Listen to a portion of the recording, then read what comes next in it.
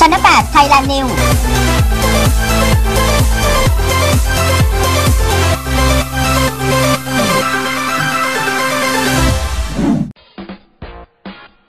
แถลงข่าวเปิดตัว The Power Band เวทีประกวดวงดนตรีสากลสมัยนิยม ผสมเครื่องเป่าประจำปี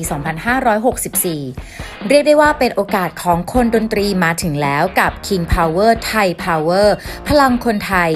ตอกย้ำความเชื่อมั่นในพลังของคนไทยด้านดนตรี จับมือกับวิทยาลัยดุริยางคศิลป์มหาวิทยาลัยมหิดล จัดงานแถลงข่าวเปิดตัว The Power Band เวทีประกวดวงดนตรีสากลสมัยนิยม ผสมเครื่องเป่าประจำปี 2564 เวทีประกวดเพื่อเฟ้นหาวงดนตรีไฟแรง มีคุณภาพ มาประชันความสามารถอย่างเข้มข้น ชิงถ้วยรางวัลเกียรติยศและเงินรางวัลร่วม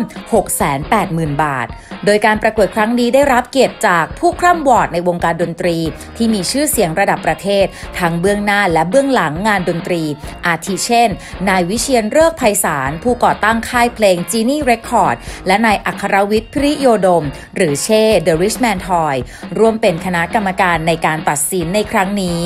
ในวันนี้ยังได้ศิลปินรุ่นพี่นักร้องนำวงร็อกแถวหน้าอย่างปั๊บโปเตโต้วง ETC และ p s a c มาร่วมจุดประกายความฝันบนเส้นทางสายดนตรี พร้อมแสดงมินิคอนเสิร์ตณลาน semi-outdoor ชั้น G3ย่านมิดทาวน์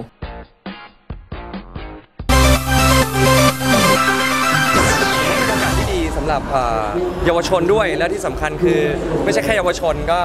ทุกวัยที่มีโอกาสที่จะได้ประกวดดนตรีนะครับ ส่วนใหญ่เอ่อผู้ใหญ่เนี่ยก็จะหาเวทีประกวดยากและเป็นเป็นเป็นเวทีที่เอ่อมีคุณภาพด้วย เป็นเวทีที่มีศักยภาพเทียบเท่ากับเทียบเท่ากับระดับโลกด้วยอะไรเงี้ยครับก็เลยรู้สึกว่าโหเป็นเป็นเรื่องที่น่าตื่นเต้นสำหรับพี่น้องนักดนตรีเหมือนกันแต่เงินรางวัลมันก็น่าลุ้นเนอะมันครับเตรียม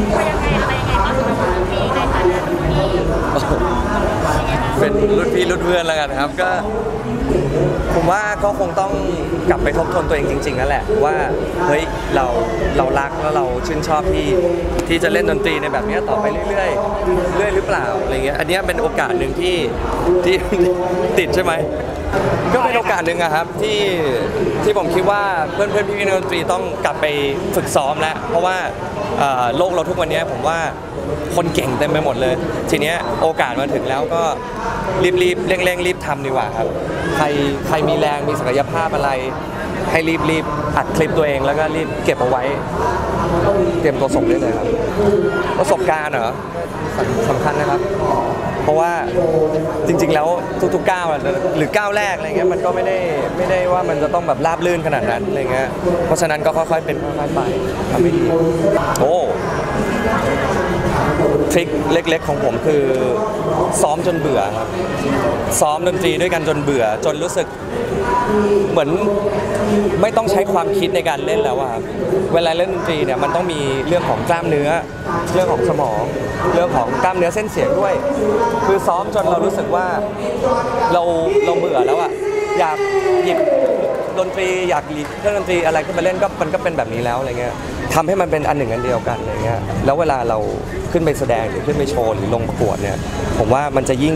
สามารถใส่ความรู้สึกเข้าไปเพิ่มได้อีก ซึ่งนั่นเป็นสิ่งสำคัญของการเล่นดนตรีครับ